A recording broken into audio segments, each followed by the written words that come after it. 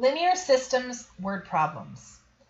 Our question says Freddie has a total of $3.50 in nickels and dimes.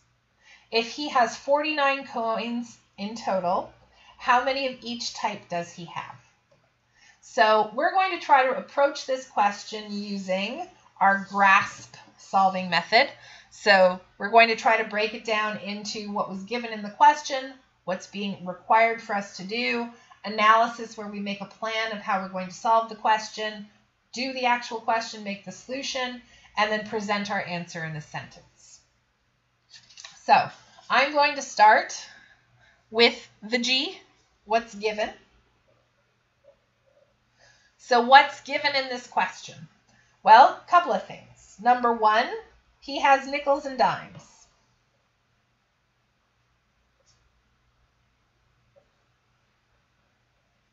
He also has a total of $3.50.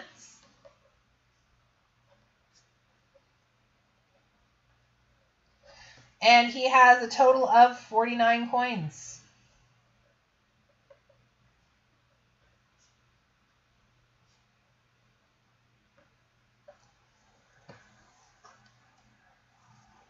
Okay, so that's all the information really that the question has given me. Um, our next step, the required.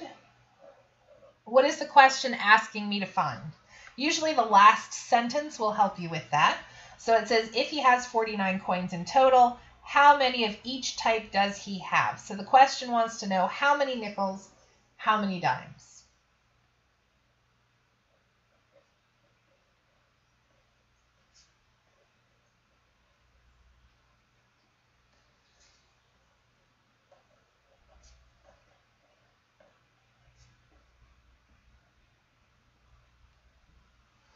Okay, so that's my required. The analysis. This is always the tricky part where we have to think about what we're trying to find, think about what we're going to do, what skills we have, what formulas we know. So the question wants to know how many nickels, how many dimes. So at the top of my little flow chart, I'm going to write nickels and dimes. That's what we're trying to find. And how are we going to do that? That's the tricky part. What has this unit been all about? It's been about solving linear systems. And how do we solve linear systems? Well, so far we've done it by graphing, substitution, or elimination. So I don't see a grid here, and graphing really isn't my favorite method. So I'm either going to use substitution or elimination. So we're going to try to figure that out using substitution or elimination, depending on what you like the best. Now, in order to do substitution and elimination, what do I need? I need two equations.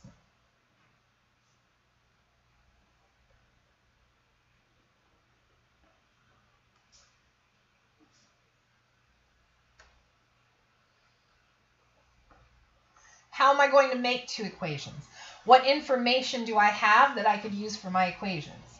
Well, one of them is that we have a total of $3.50 and the other one is that we have a total of 49 coins. So for one of them, I'm going to use the fact that there are 49 coins. And for the other one, we're going to use the fact that it's $3.50. And it doesn't seem like much, but it really is just a plan to get us started, to help us figure out where we're going to go from here, how we're going to solve the question. So that brings me to the S, the solution part. So, in order to do this question, I need to make some equations. In order to have equations, I need variables. So first we're going to start with some let statements, and we're going to think about what was uh, required. So how many nickels, how many dimes. So I'm going to let something be the number of nickels and let something be the number of dimes.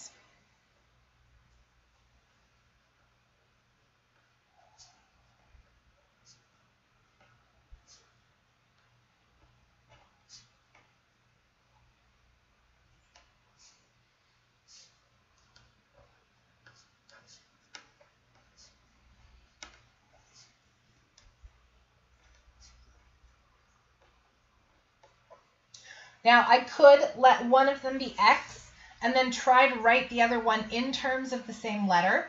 But in this unit, when we're doing substitution and elimination, we're dealing with two different variables. So I'm actually just going to let one of them maybe be N for nickels and the other one be D for dimes.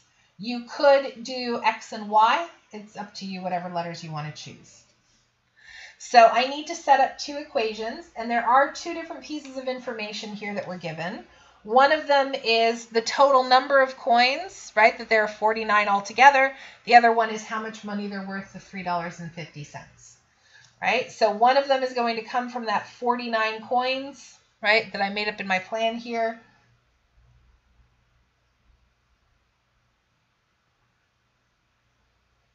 And the other one is going to come from that $3.50.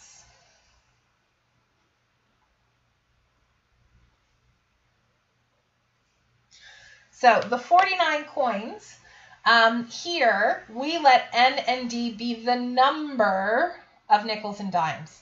So the number of nickels and dimes would match up with the 49 coins because the total number of nickels and dimes is going to be 49. So if I take the number of nickels and I add the number of dimes, it's going to give me 49. Now this one's a little trickier. The $3.50 isn't the number of nickels and the number of dimes, it's the value of the nickels and the value of the dimes. So anytime you're doing a question that involves value, right? If I had five nickels and I wanted to know what they were worth, you have to take five nickels and multiply that by the value, which would be five cents, to calculate how much they're actually worth. So when I'm doing this question, I know a nickel is worth five cents.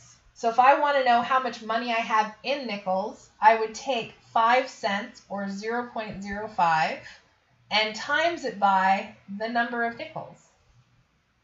And a dime is worth 10 cents. So if I wanted to know how much money I had in dimes, I would do 10 cents times the number of dimes to figure out how much money that was. And all together, that should give me $3.50. So I have one equation over here, n plus d equals 49. I have another equation over here that has some decimals. We could get rid of the decimals by multiplying by 100. I actually don't mind decimals so much. I'm just not a fan of fractions. Um, so we could choose to do either substitution or elimination. Um, when I look at this equation here, I do notice that there are no coefficients in front of the n or the d, and I feel like substitution is a good method to use. But if you like elimination better, use elimination. I think I am going to rearrange for n, which means I'm going to subtract d from both sides here to get 49, take away d. And I'm going to take this equation and everywhere I see an n in the other equation, I'm going to put in 49, take away d. So I get 0.05 times 49 take away D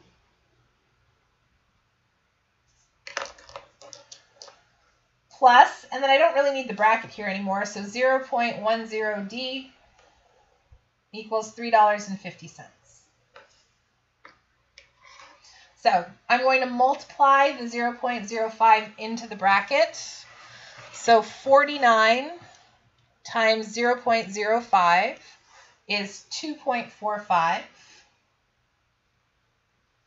0.05 times negative d is minus 0.05d. And then plus 0.10d equals $3.50. I'm going to collect up my like terms. So I have two terms that have d's in them. So I have that 2.45 I have negative 0.05D plus 0.10D. Helps if I think about it as money. So 10 cents take away 5 cents would give me 5 cents. Or use your calculator. And then I want to solve for D. So I'm going to take 2.45 away from both sides.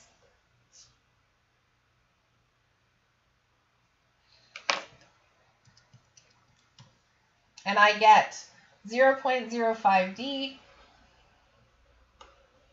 equals 1.05.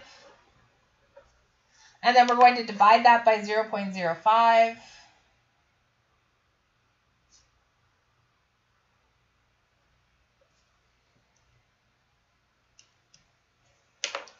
And I get 21. So what does that mean? We said D was going to be the number of dimes. So if D is 21, that means we have 21 dimes. Now, the other thing that I do have to find is not just the dimes. I also have to know how many nickels. So I'm going to take that 21 and pop it back into the equation here to see if I can figure out how many nickels. So I get 49, take away D, which is 21. So 49 take away 21 is 28. Which means there are 28 nickels and 21 dimes. So that brings me to the P. So G-R-A-S-P. P is to present our answer. So our sentence at the end is going to say, therefore. So the question said, how many of each type does he have? So Freddie has 28 nickels, and 21 dimes.